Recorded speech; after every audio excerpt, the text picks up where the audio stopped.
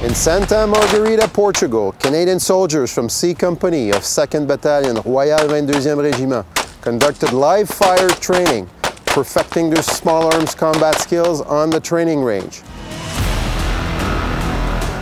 Going through their firing positions and hitting their targets from a variety of distances and under strong wind conditions. For soldier marksmanship and maintaining their shooting proficiency, nothing replaces live range training.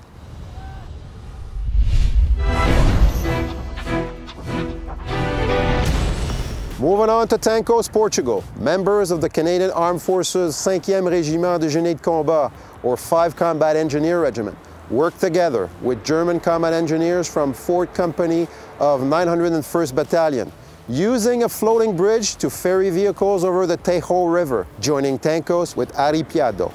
This combined operation provided the force on the ground with temporary but key mobility capability, ensuring that military lines of communications, the routes that connect operational units to their supply base, are maintained.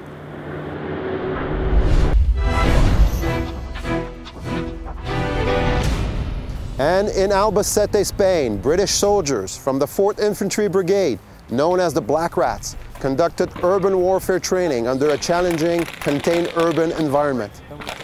The objective was to get into a village held by the opposing force and neutralize the enemy in movement and contact tactics and building clearance maneuvering. The operation, well planned and synchronized, allowed soldiers to successfully suppress enemy threats and gain valuable information on possible future opposing force movements.